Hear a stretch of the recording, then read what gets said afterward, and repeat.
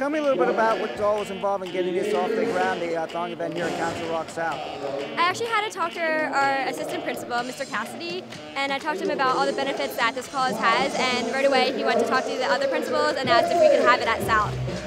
What was your favorite thing that you like to do most about with this? Um, honestly, everything, because there's so much stuff that you have to do, like making the shirts, making the lion dance, just out fundraising, getting the word out to the community. So everything about it is just amazing. What made you personally decide to get involved with this event?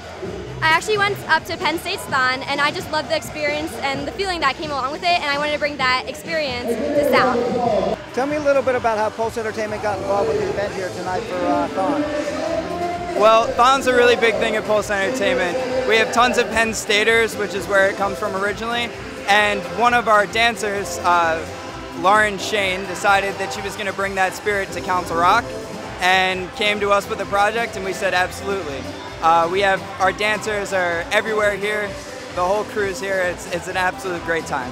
What's involved in making the shirts for the Thon here? It's a lot of work. We did almost every single shirt within the last week of preparing. So it's uh, ink and then a flash dry through the heater.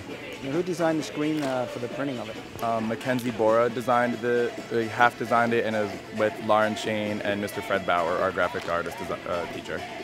How many shirts did you make for this event? Um, we made over 100 for the student shirts and then around 150 for our community shirts.